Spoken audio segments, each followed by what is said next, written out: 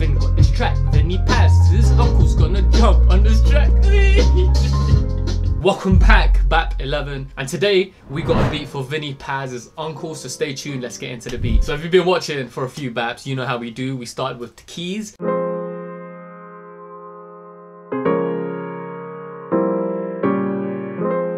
chords are just beautiful, right? Then went to the counter melody that kind of played with the chords.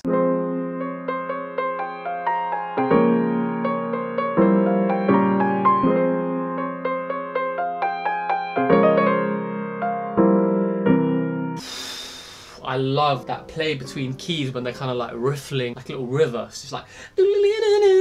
Okay, something a little bit different. I added one note from this Rhodes keyboard and it sounds like this. You know, it's one of those things where if someone's listening, they're not going to hear it, but it does make a little bit of a kind of atmospheric difference. So melodies, counter melodies, little atmosphere. Time for the bass.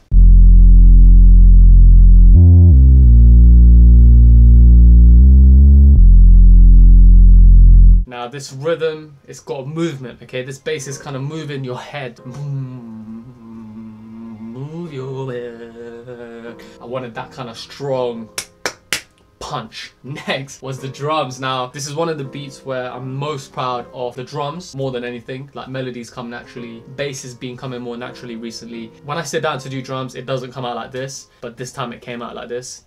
Inception.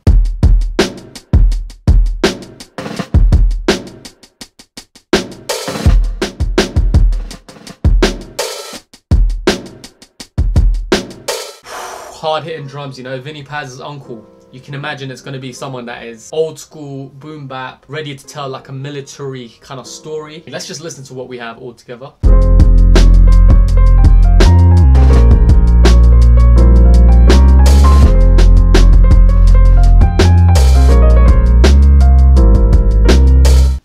This is for an artist, so I didn't want too many melodies and rhythms taken away from the future vocalist that will jump on this beat. Then we do variations of the chords, the melodies, we take them out, we mix it in. So there's a lot of arrangement. And then I have little breakdowns where I add my beautiful strings.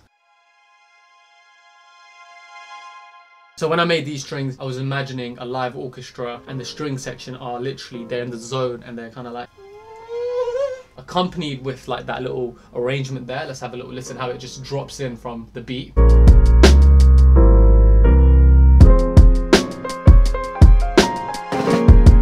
So it's a nice little build up. It's got a bit of emotion to it. In between as well, when the drums are dipping in and out, I bring in some drum fills that I made. Super proud of them as well. So let's have a listen to one of the drum fills.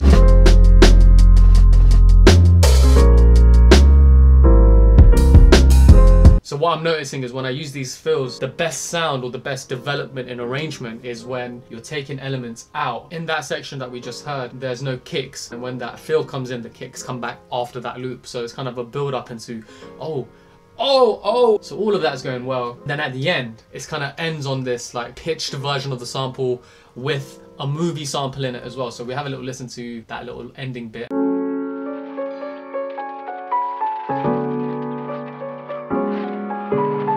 It's just kind of like a credit scene, you know, where you've listened to a whole story and now you're just kind of left to think in your own thoughts. So we've come to that part again. If you're going to stick around to vibe, then let's vibe. But if you're not, make sure to hit the like and subscribe button. I'll see you guys on BAP 12. But everyone else, let's vibe with the beat and let's have a little listen.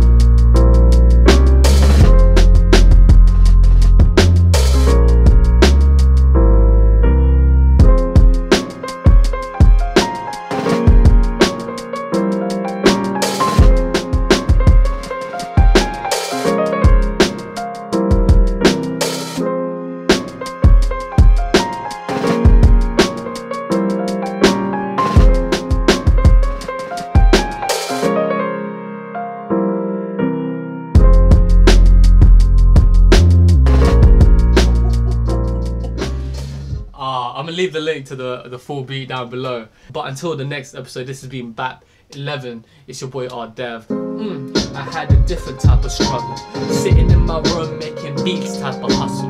When they look at me, they think I'm gonna stumble, but I kept making beats. Now I gotta stay humble. Wee.